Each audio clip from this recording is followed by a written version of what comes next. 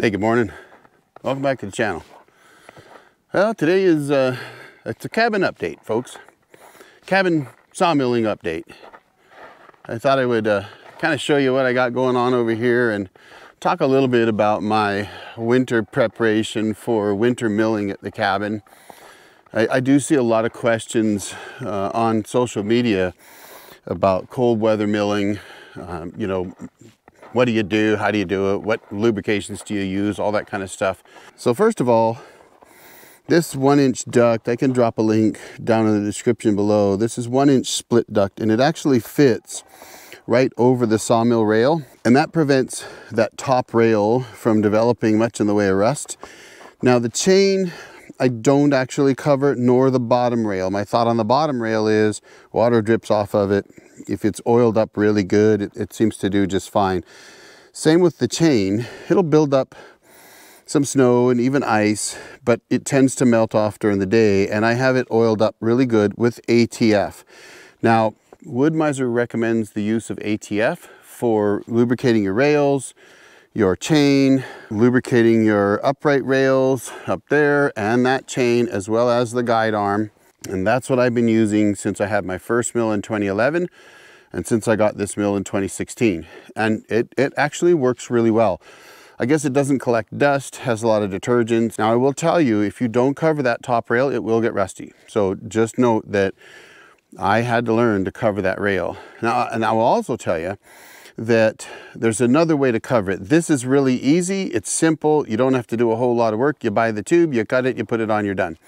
But Steve over at MSD Making Sawdust actually used, I think it's one inch PVC pipe that he cut on a table saw. So he cut a notch out of it so that he could snap it over that rail. And that actually sounds like it would work good and it would last longer. This stuff here breaks down after a few years and you got to replace it. It's pretty inexpensive, but it does work. And I'll drop a link for you in the uh, description below on where I got that, as well as to Steve's video on how he prepared his mill for the winter. But this does work pretty well, folks.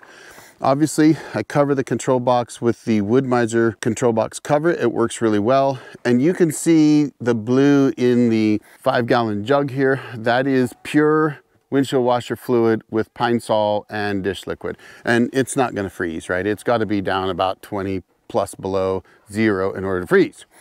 So that's fine.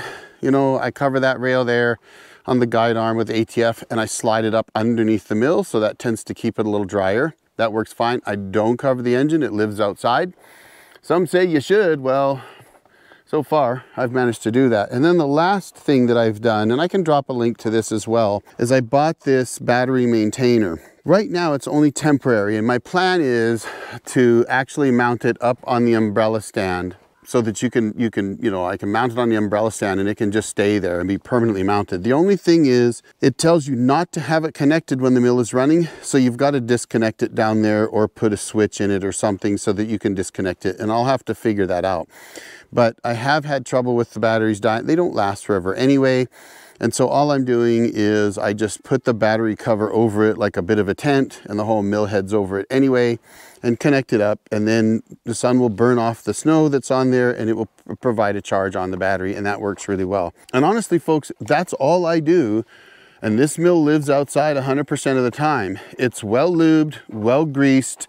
I protect the top rail, I protect the control box.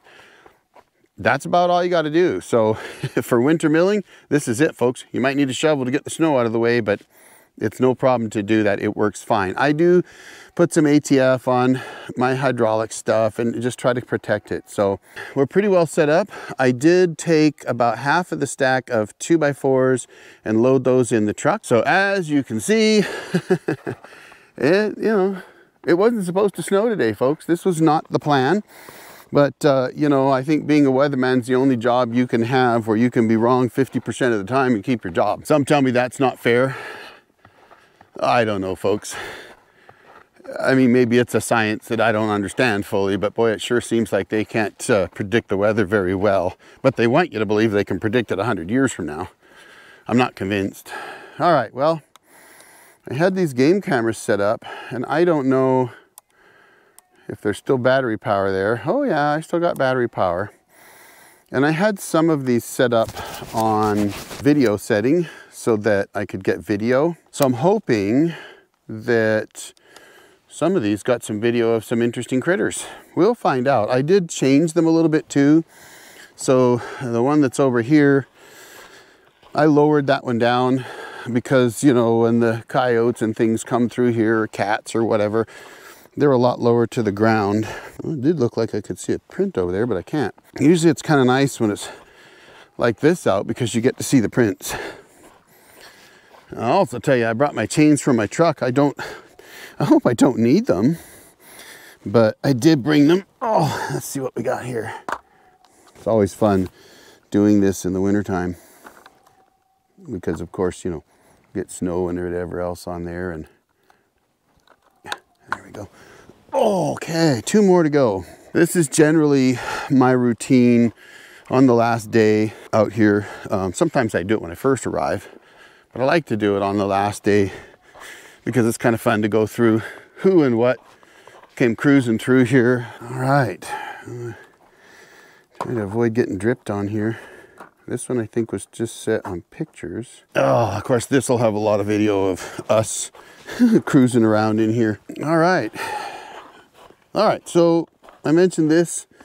I did end up cutting these 2x4s, which were 12 and 16 feet long, because I decided I would build the shop with eight foot walls and then stack four foot walls on top of those instead of trying to building them as 12 footers. So I think this is gonna work fine.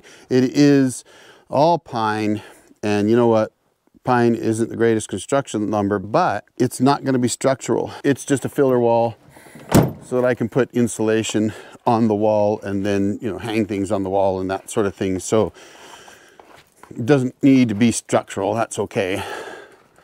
All right, let's take a look over here real quick. It's chilly out here. It is actually close to 32 degrees.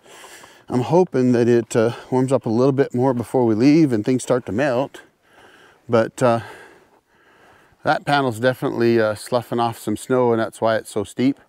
And then you can see those ones up there, they're actually starting to slough the snow off as well. So we'll start gaining some solar production. But since it's uh, been all night and we haven't been producing any solar power, I'm gonna go run the generator one last time just so that, uh, you know, we get the batteries up a little bit before we leave. It's always better to do that. So we'll come out here and fire this guy up.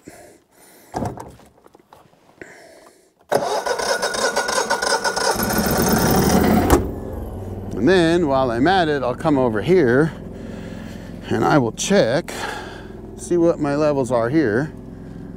Oh yeah, we're 67%, that's not too bad. The bear that was charging up the hill was right about here when I saw him. I think I mentioned that in one of my videos. I was right here opening up the back room so I could turn up the water heater and uh, looked over and he was charging up the hill so I just yelled at him. But it's always a good idea to keep an eye out when you're walking around out here.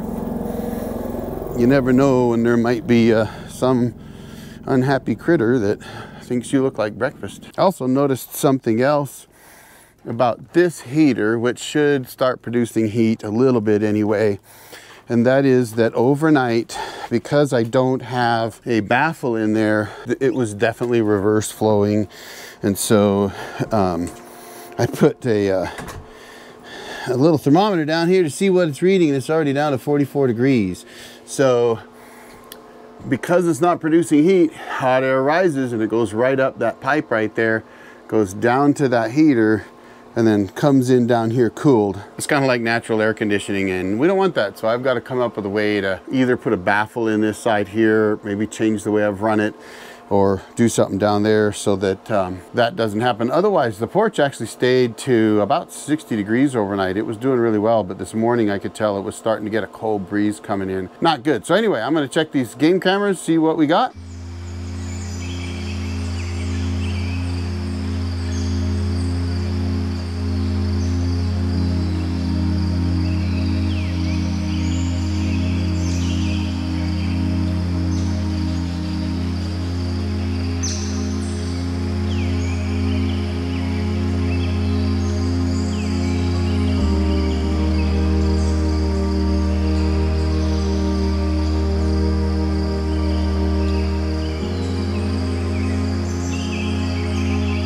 Well, folks, I've put the RV antifreeze down the sink and uh, done the dishes. Darcy will like that. I need to pack up the garbage still, but I gotta go shut the generator off. So I'm gonna do that real quick. And while I do that, let me know what you think of those game camera pictures. I thought some of them were pretty cool. Anyway, I hope you enjoyed it. Listen, folks, I gotta get on the road. Y'all have a great day. It was a wonderful weekend at the cabin. I'll drop another video right here for you to check out. Thanks for watching, folks. The old jar head out.